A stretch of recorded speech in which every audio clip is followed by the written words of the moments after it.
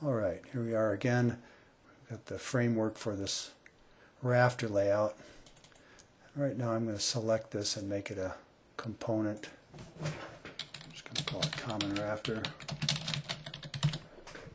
Create that. And I'm going to make a another one here. I'm taking the move tool and using control. Moving this rafter over, then I'll take the scale tool just flip this backwards and if I type in minus 1 it gives me an exact mirror image of that first rafter. So, so you can see how creating this, whatever dimensions you're using, I'm just going to make it an inch and a half thick like it was made out of a 2 by 8 But you can adjust all these things. The process is the same.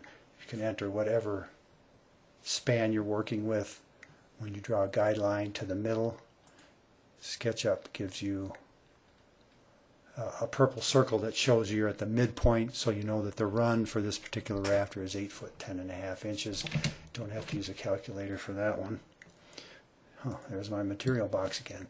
Anyways, uh, but I think that it might be helpful to see the visual of how this rafter is created. Uh, another thing that's pretty typical is if we use an inch and a half ridge on here, we need to leave space between these two rafters. And with this, it's pretty easy to do.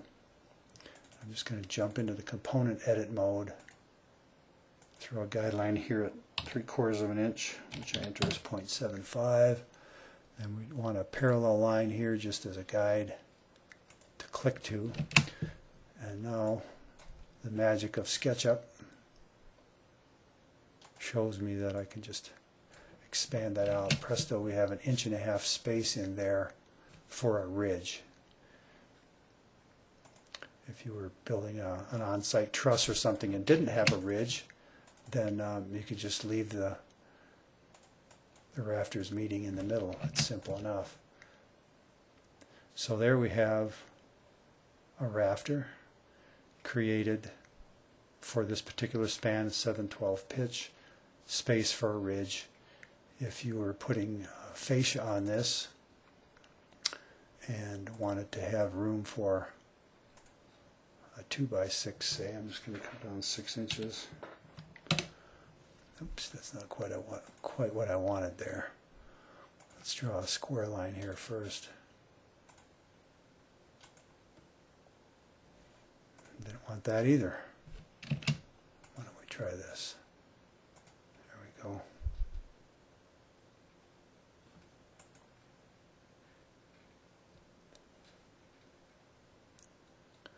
Trying to get a line down here six inches.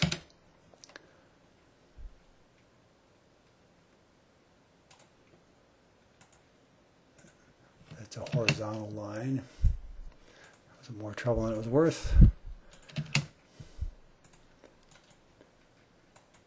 Taking the guideline out, and then we'll just shove this little heel cut off there. So that's um, Oftentimes a rafter will look much like that. And now that, that that's created, it's simple enough to just measure anything we want on this rafter. I'm going to put a guideline here. And so if you want to know the length that this rafter needs to be cut, take the dimension tool. I want to know from the plumb cut the outside wall. If you were using a rafter table, this is the dimension you would get when you used half of your span. So that says 10 foot 2 and 27 64 How about that? You want to add for the tail for a 12 inch overhang. Let's get this dimension to snap around. It's kind of got a mind of its own here, but so there's that. You need to add another 1 foot 1 and 57 64s. And you can change the, the setting to, uh, if you don't want to go down to the 64th, you can go up to the window, model info, and then set your dimensions if you want to be within a 16th. It'll just round everything off for you. It just depends on how precise you want to be. And so this, the total length of the rafter here is 11 foot 4 and 5 sixteenths, and you want to know if you can get this out of a 12 foot 2 by 4, 2 by 8, sorry. It's simple enough. 2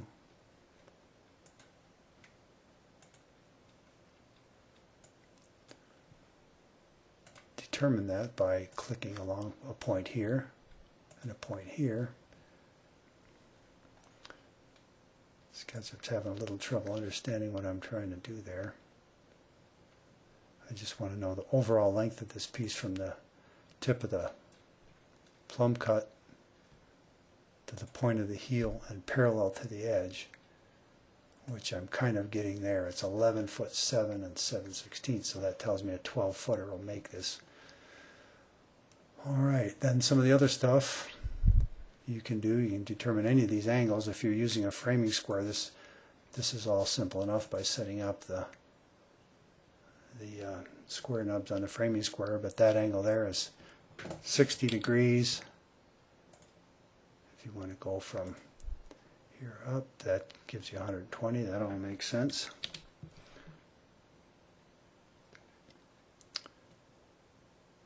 And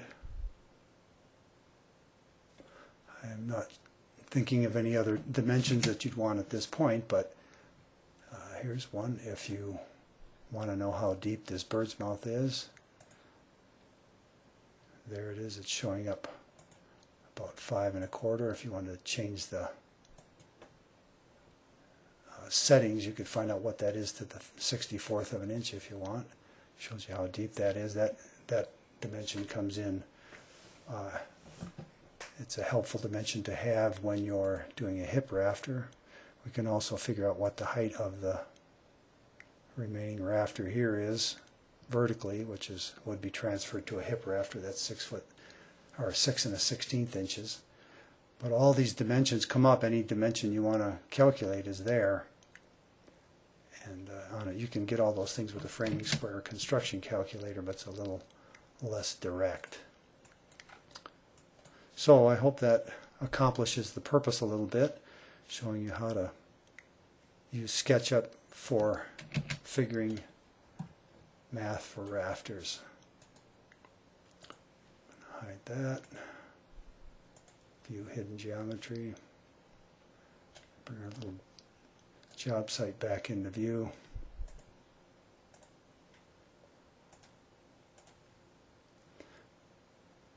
And all I did on this model was to put some grain texture on the rafters, but what you'll end up with is the dimensions for a pattern like this one, and you'd be pretty decent shape to go to work building a roof.